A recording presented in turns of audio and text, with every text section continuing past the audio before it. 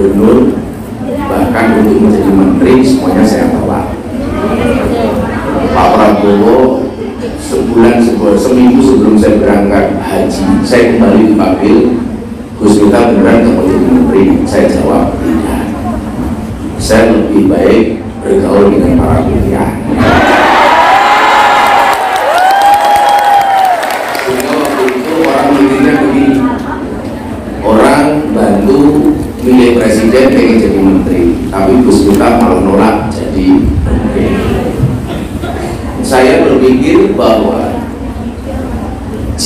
jenengan di bidang ekonomi itu penting maka satu ketika saya mencerita ada sahabat Nabi namanya Sa'id al khudri beliau ini salah satu sahabat yang dekat dengan Nabi. Satu ketika Sa'id ini setelah perang Khandaq itu ketemu dengan Nabi. Nabi ketemu dengan Sa'id al khudri Nabi mengulurkan tangannya untuk salaman. Salaman. Said ini tidak berani mengulurkan tangannya malu dia menjulurkan tangan. Kenapa? karena tangannya kasar penuh dengan gejolak akhirnya dengan malu-malu beliau menjulurkan tangannya kepada Nabi untuk salaman begitu salaman Nabi melihat tangannya kasar dan penuh gejolak Nabi bertanya wahai Said tanganmu kenapa? dengan malu saya menjawab wahai Nabi tangan saya kasar banyak gejolak karena saya bekerja membelah batu untuk memberikan nafkah anak dan istri saya apa yang kemudian Nabi lakukan? Nabi tangannya saya al dicium oleh Nabi.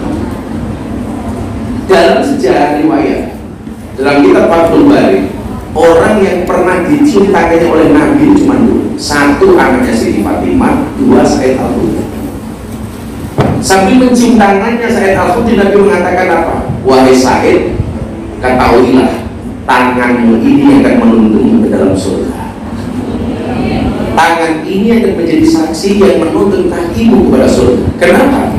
karena kamu relakan tanganmu kasar banyak benjolan demi menafkahi anak dan istri. Dicium oleh Nabi sampai si saya menangis karena ini. Tidak baik untuk para kuliah jadilah tanganmu saya kasar. Oke KKP pun LWC utawa nyewoni apa istilahnya tungkune bong sing apa sing gede tungkune itu tangan-tangan yang akan menuntunmu mendapatkan surganya maka kemudian semakin tangannya kasar semakin baik maka saya doakan mudah-mudahan pulang dari Hongkong semua tangannya kapal semua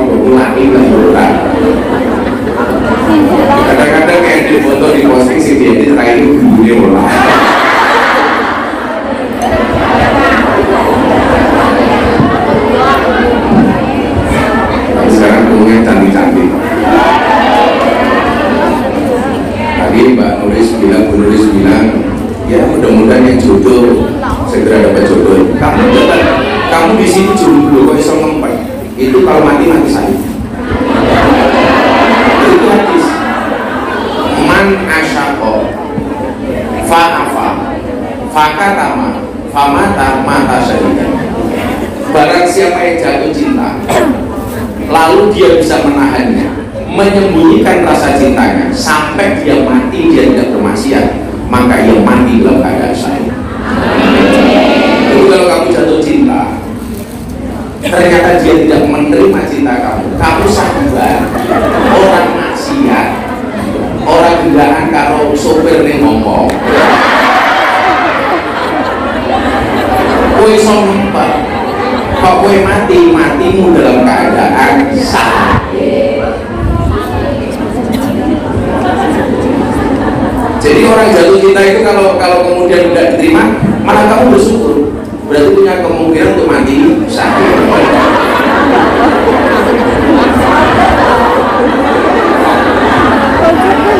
dong bos tapi memang etikanya itu kalau orang cinta kata Nabi itu harus disampaikan gak boleh ditahan laki-laki senang sama perempuan dia harus ngomong perempuan senang sama laki-laki dia juga harus ngomong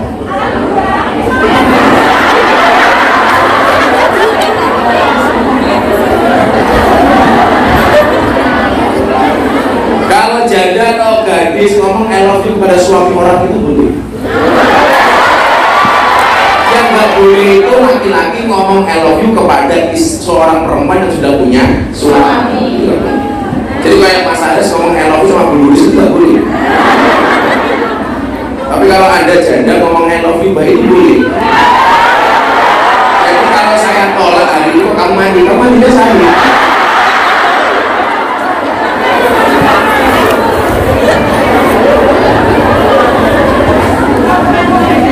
Karena gini, Nabi pernah mengatakan gini. Ida ahabba ahadukum sahibahu. Ketika kamu mencintai saudaranya, mencintai lawan jenisnya atau temannya atau siapa fayatihi fi manzili maka kamu harus mendalam ke rumahnya hadis ini berlaku tidak hanya laki-laki pada perempuan. Perempuan berlaki-laki kok kamu dari Hongkong sudah senang sama cowok di Indonesia?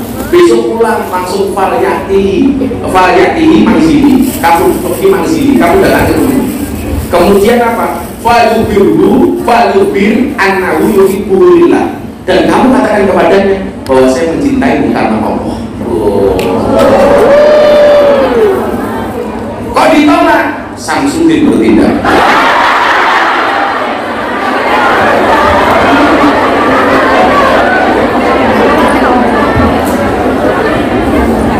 nah sesuai tema kita hari ini temanya apa? Islam lalu menjaga keamanan dengan mempraktekkan Islam rahmatan lil alamin. Jadi eh, saya itu besok ada tugas dari negara, bukan menteri, bukan menteri. Nah, besok apa? Besok dengan dia. Salah satunya terkait dengan kerukunan dan peradaban. Karena saya dianggap sebagai eh, tokoh masyarakat, tokoh agama di Indonesia yang paling toleran. Hari ini saya baru bangun masjid di Lampung, saya bangun gereja di Merauke, saya membangun pura di Bali. Jadi masjid kita bangun. Lalu sudah kuburan di.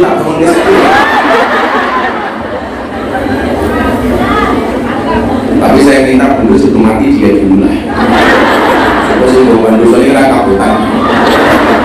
Sosok Allah bohong kabeh.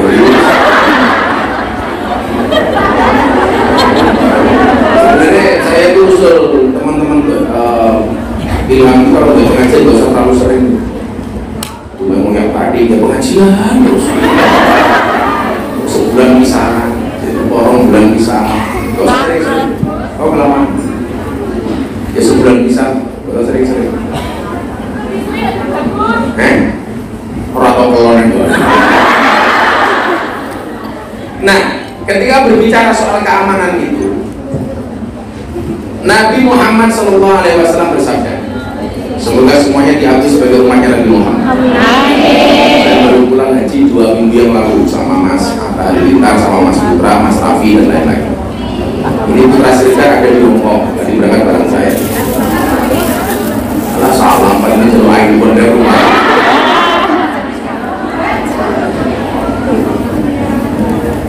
Jadi saya, Anta sama Putra itu lagi berusaha membebaskan tanah atau rumah di Jakarta untuk majelis pengajian teman-teman artis. Artis. Ya sebelum artis Jakarta minimal dengan semuanya dulu. Al muslimu akul muslim kata Nabi. Seorang muslim itu sahabatnya muslim yang lain. Jadi kalian itu gue kenal orang sama-sama muslim itu berarti dia bersahabat. Makanya sesama muslim itu kalau sholat itu mesti saling mendoakan. buktinya apa ketika ada sholat Assalamu alaina wa ala ibadillahi keselamatan bagiku dan bagi hamba Allah yang soleh dan soleh jadi anda itu dituntut untuk menjadi makhluk sosial bahkan diajari ketika sholat Assalamu alaina wa ala ibadillahi sholihin keselamatan bagiku ya Allah dan atas semua hambamu yang soleh maka kalau anda pengen didoakan oleh orang muslim yang lain salahnya anda harus soleh karena wa ala ibadillahi soleh kok anda nggak soleh ya nggak dapat. Makanya kalau pengen gak doakan oleh orang lain salahnya kamu harus soleh semua orang soleh al-ahya minhum wal amwat yang hidup maupun yang mati begitu ada saudaranya sholat dia mendapatkan jalan doa makanya hebatnya orang alim di sini.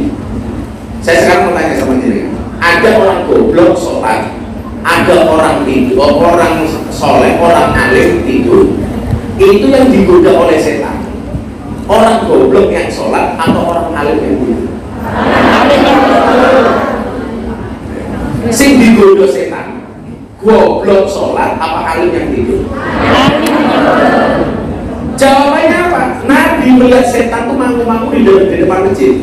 Makanya saya bilang yang banyak setannya itu di masjid apa di diskotik? Di masjid. Diskotik gak perlu ada setan kelakuannya sudah kaya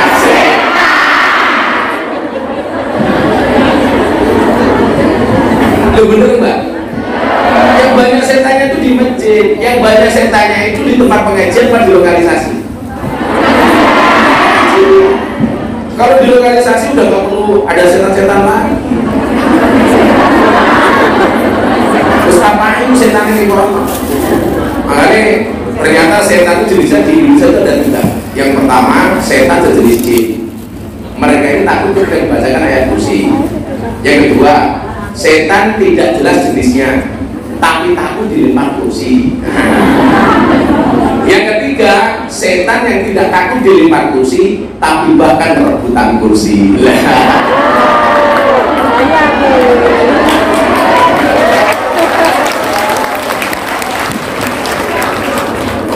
Banyak nggak seperti itu. Bahaya jadi yang tidak takut dilempar kursi tapi rebutan